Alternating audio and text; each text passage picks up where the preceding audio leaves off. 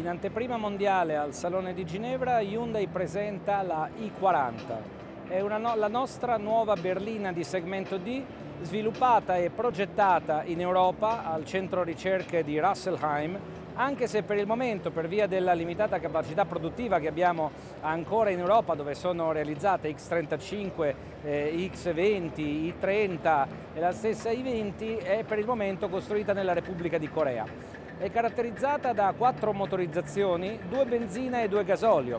I benzina sono il 1600 e il nuovo NU si chiama 2000 benzina da 177 cavalli, mentre le gasolio sono le nuove versioni del motore 1700 CRDI che già la clientela Hyundai conosce perché è montato sulla X35 da 115 cavalli, ma anche la versione alto di gamma da 136 cavalli.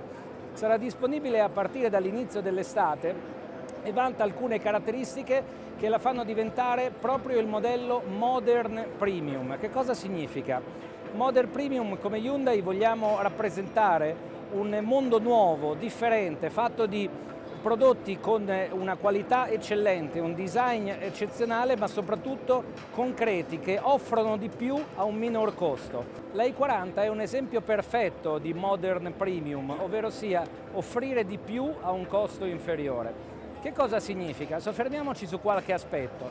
Ad esempio questa vettura è l'unica segmento D a rendere disponibile su tutta la gamma caratteristiche molto importanti per coloro i quali l'acquisteranno, siano essi privati o aziende, quali i sedili posteriori eh, inclinabili, lo schienale inclinabile e riscaldato, lo stesso volante riscaldabile e ehm, altre caratteristiche di sicuro impatto come ad esempio il sistema di anti-appannamento automatico del vetro anteriore. Caratteristica che nessun'altra vettura ha nel segmento D, oltre naturalmente alla tripla 5, 5 anni di garanzia, 5 anni di assistenza stradale e 5 anni di controlli gratuiti che sono un po' il marchio di fabbrica di tutte le Hyundai. Hyundai presenta a Ginevra anche la propria strategia di ecocompatibilità Già nel 2010 eravamo nella top 5 dei costruttori europei per quanto riguarda le minori emissioni e fra coloro i quali avevano migliorato significativamente il proprio ciclo medio combinato e le proprie emissioni combinate della propria gamma di vetture.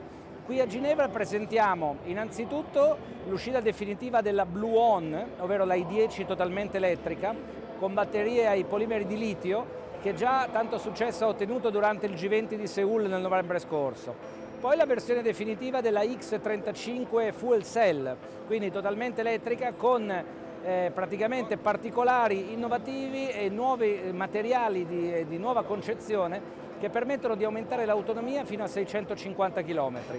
Altra particolarità, la Sonata ICV, la prima full hybrid dell'azienda che rappresenterà una base per i prodotti futuri. È previsto naturalmente per il 2012 una, un, un deciso ingresso di Hyundai nel settore. La i40 sarà in vendita in Italia dall'estate del 2011, all'inizio nella versione wagon e poi verso la fine dell'anno anche nella versione benzina, anche perché è caratterizzata da alcuni record di categoria come l'altezza per la testa, lo spazio per le spalle oppure per le gambe, specie dei passeggeri, in più nella versione Blue Drive ecocompatibile con il motore 1700 diesel da 115 cavalli raggiunge emissioni record di 113 grammi per chilometro, quindi il miglior risultato del segmento D.